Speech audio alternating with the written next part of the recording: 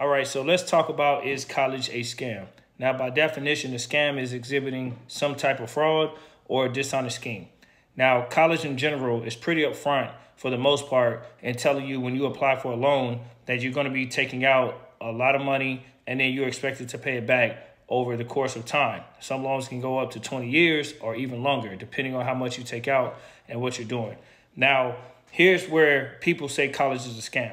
A lot of people will say it's a scam because that from kindergarten to 12th grade, they were promoted and told that their whole lives of going to high school, middle school, elementary, and whatnot, that college, if you go to college and graduate, you'll get a job, get a degree, and it's something that no one can take from you and you'll make money. Well, the reality is they found out sooner than later once they obtained to attempt to go to college. The ones who didn't finish or finish found out they instead had more massive debt and the degrees that they majored in, they're not even working in those fields. Or if they are, it's not even paying you the amount of money that you took out for a loan. So basically, you got more debt than you do income, and it's not even paying you market value. The vast majority of college degrees will not pay you market value. So this is why most people say it's a scam.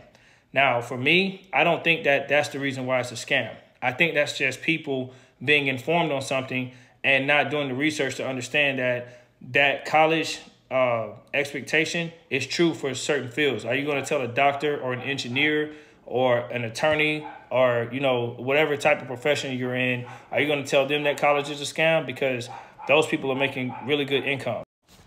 So instead of calling it a scam for that reason, if I were going to say it was a scam, I would say if there are loans that are misleading people with an intent to, you know, be falsify to falsify information, then yes, that aspect of college can be a scam. And there have been colleges who have misled people taking out loans, saying that they make this amount of, money once they obtain a degree, and they come to find out it is not nowhere in line with market value.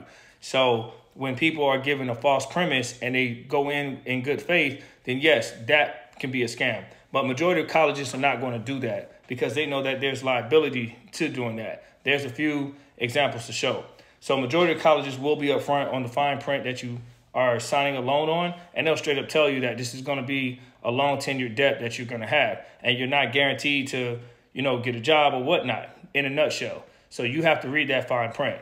Now, I will say this: um, I do think that there are a lot of people who have gone off to college, and unfortunately, the majority have not got to pay with the market. But then the exceptions to the rules have, like I mentioned earlier, those nurses, those doctors, those attorneys people who uh, go to those type of degrees, they make pretty good income.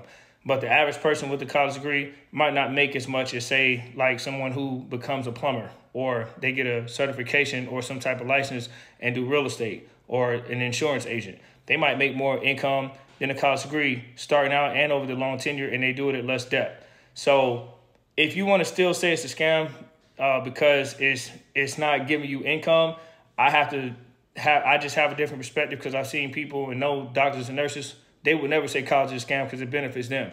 I think it's I think it's just that at the end of the day you have to be informed on about college and the business side of it and how you know what it does to impact your financial life. And as long as you're aware of that and you have that knowledge and information, they might not do the greatest job of conveying it sometimes, but it is available. You just have to kind of go and read it on your own and then ask those questions. And then once you do that, you can make the, make an assessment if college is worth investing in or not.